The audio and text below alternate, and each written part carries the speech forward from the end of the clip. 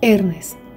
un joven neoyorquino de 28 años, desembarcó en el puerto de Buenaventura una mañana del mes de noviembre de 1920. Era un día lluvioso, como suelen ser los días en aquella zona del Pacífico. A primera hora de la mañana del día siguiente de su desembarco, abordó el tren que lo conduciría a Cali.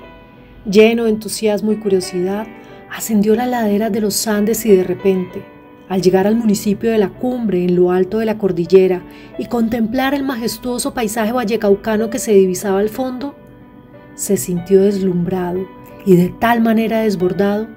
que tuvo la premonición de que ese era el sitio en el mundo en donde quería vivir.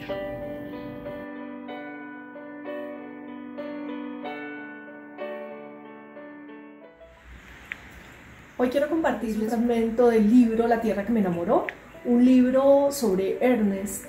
un padre y abuelo que falleció en Cali en 1953 y de quien logramos hacer un libro que recopila no solamente su bella historia familiar, que es hoy en día un invaluable tesoro para todos sus descendientes, sino además que cuenta una conmovedora y poética historia de un migrante que se enamoró del Valle del Cauca en 1920. En una carta extensa fechada el 8 de enero de 1921 a las 9 y 30 de la noche, lo explicaría de manera por demás elocuente y poética.